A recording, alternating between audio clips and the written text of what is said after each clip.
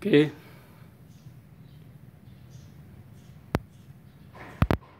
Saya akan menjelaskan bagaimana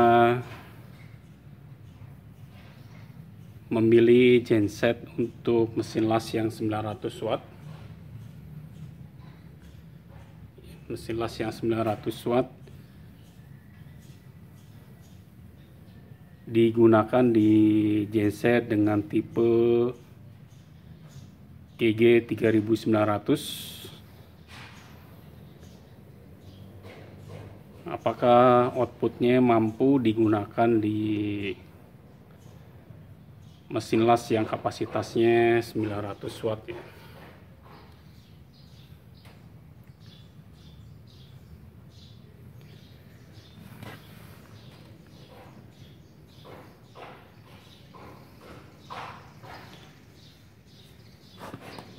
Jadi mesin las ini dengan tipe IE121 minimum ampernya 20 ampere maksimumnya 120 ampere mesin las ini menggunakan teknologi MOSFET ya. masih menggunakan teknologi MOSFET kapasitasnya 900 watt. Ini 900 watt. Dan teknologinya sudah inverter ya. Atau sudah uh, inverter yang hemat energi. Kita akan coba untuk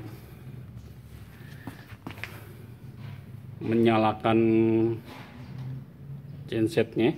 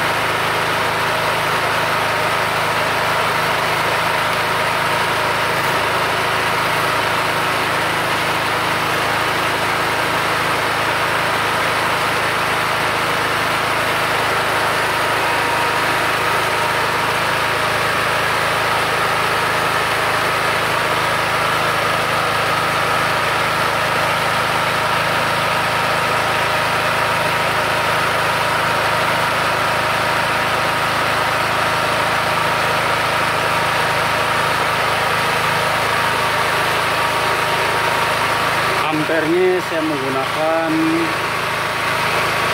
60 ampere dengan kawat elektroda 2,6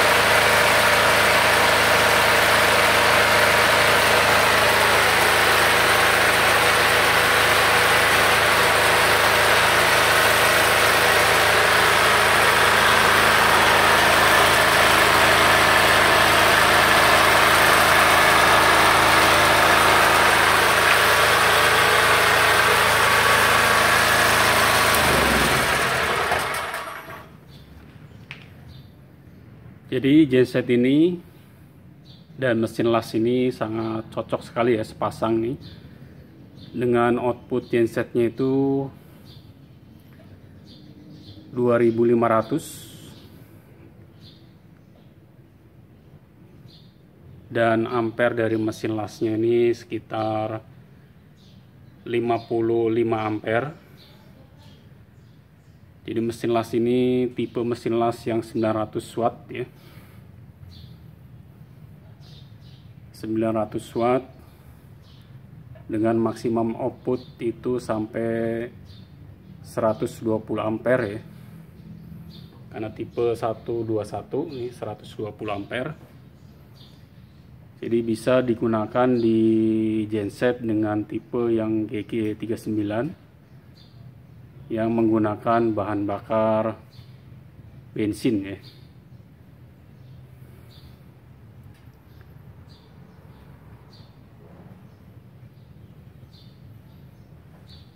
Untuk spek dari gensetnya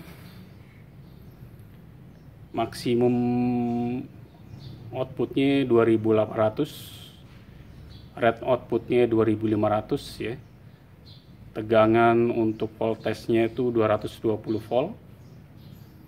Frekuensinya 50 Hz single pass ya.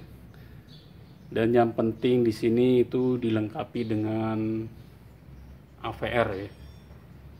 Jadi ada AVR automatic voltage regulator yang berfungsi untuk menstabilkan tegangan sehingga bisa digunakan di mesin las yang tipe inverter ya. mesin las yang tipe inverter yang 900 watt